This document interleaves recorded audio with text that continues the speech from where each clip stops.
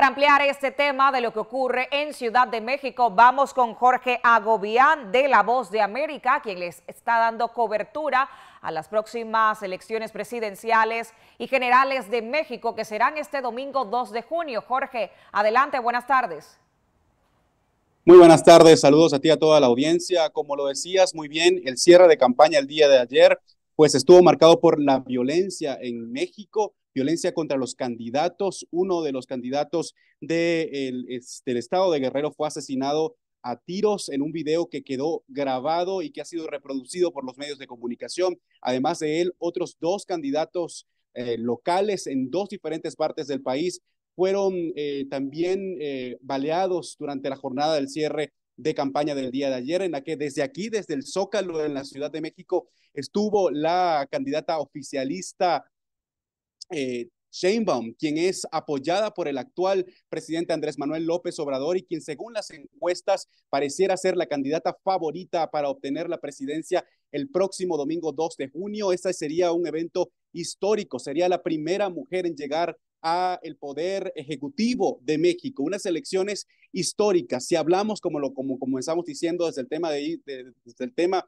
de la violencia y la criminalidad, desde el inicio de esta campaña, 22 eh, eh, candidatos locales y regionales han sido asesinados de acuerdo a las cifras oficiales que no concuerdan con las de otros organismos y organizaciones no gubernamentales aquí en México. El domingo estarán llamados a las urnas eh, más de, o al menos 100 mil mexicanos para votar la elección más grande de México en la que se elegirán más de 20 mil puestos locales, regionales y por supuesto al próximo presidente de este país. Hay que destacar también la opositora eh, Xochitl Galvez, eh, también se selló su campaña electoral el día de ayer, pero desde el norteño, desde Monterrey, allí también tuvo una multitud en este evento de cierre de campaña. Destacar también desde la medianoche aquí en, México, están prohibidas las campañas, los mítines de campaña, las propagandas y hasta los sondeos, porque entró lo que se conoce acá como la veda electoral, que es la prohibición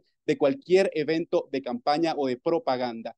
Y también, pues, destacar que se espera que este próximo domingo millones de jóvenes puedan acudir a las urnas y eso es, según los analistas, lo que podría cambiar el, el resultado electoral que hasta este momento le da una ventaja considerable a la oficialista Claudia Sheinbaum sobre la opositora en Xochitl Galvez. Es básicamente la información y el ambiente que se vive aquí, al menos en Ciudad de México, donde se nota ya el refuerzo de la seguridad para este, estos comicios del próximo domingo.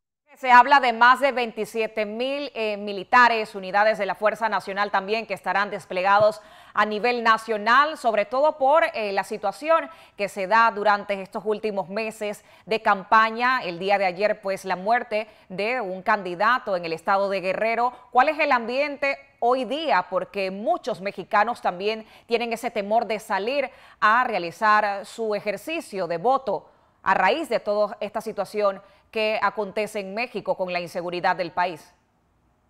Definitivamente el tema de la criminalidad, criminalidad es foco principal de estas elecciones y sobre eso estarán votando muchos de los mexicanos con los que hemos hablado en, en, las calles de aquí de Ciudad de México y de otras regiones del país. Hay una tensa calma, sobre todo por el tema de la seguridad, por el tema de la violencia directa contra los candidatos. También hay un movimiento aquí en México de familiares y activistas de personas desaparecidas, más de 114 mil desaparecidos en México que están llamando también a votar nulo en estas, en estas elecciones y marcar en la boleta el nombre de uno de estos 114 mil desaparecidos. En términos de la decisión y lo que estará por verse en estas elecciones del domingo, pues hay una encuesta reciente que dice que 79% de los consultados tiene ya una decisión firme sobre por quién votará el próximo domingo y también eh, sobre los temas que marcan esta campaña. El principal,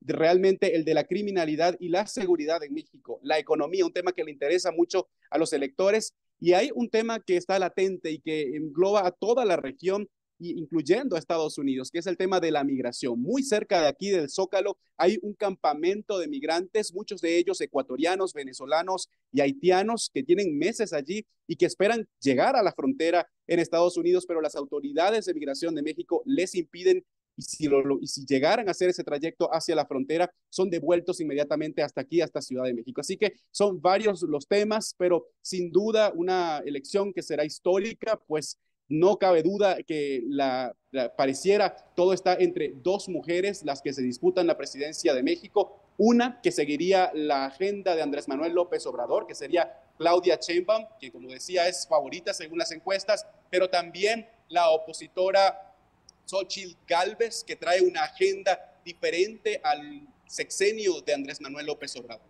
Gracias, Jorge Agobián de La Voz de América desde Ciudad de México, dándole cobertura previa a lo que acontecerá este domingo 2 de junio en las elecciones generales de México, donde todo cabe, eh, posiblemente se dé la primera mujer presidenta de México. Gracias, Jorge, por todos los detalles. Ustedes.